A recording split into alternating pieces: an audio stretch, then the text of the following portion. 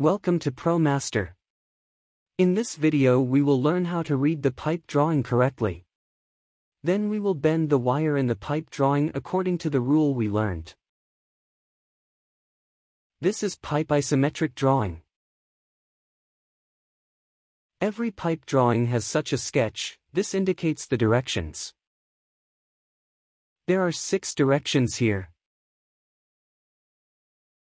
N means north.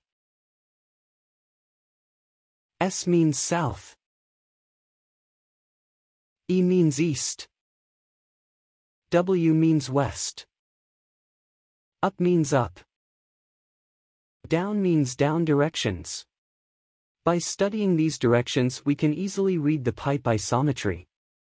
We will start reading the pipe isometric from this point because the direction of the arrow on the pipe drawing is in this direction. The pipe travels start from this point to the east direction. There is angle of 45 degrees. Therefore, the pipe travels to the east, then it travels north direction at an angle of 45 degrees. Then the pipe travel continue to the north direction.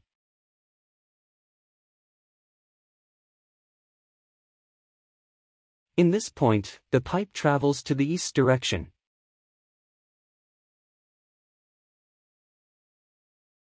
Then we pipe travels continue to the up direction and the correct reading of the pipe drawing is completed.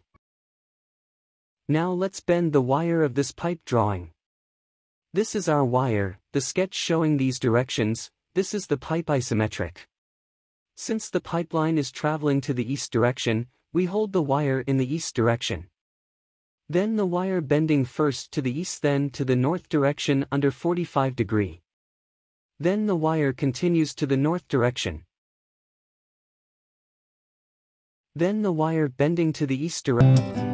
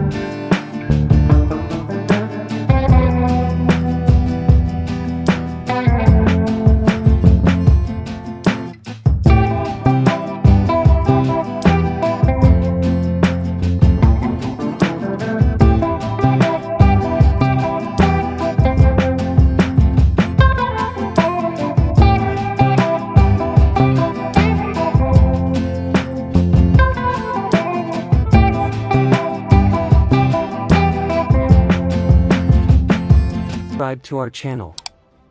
Thank you for watching.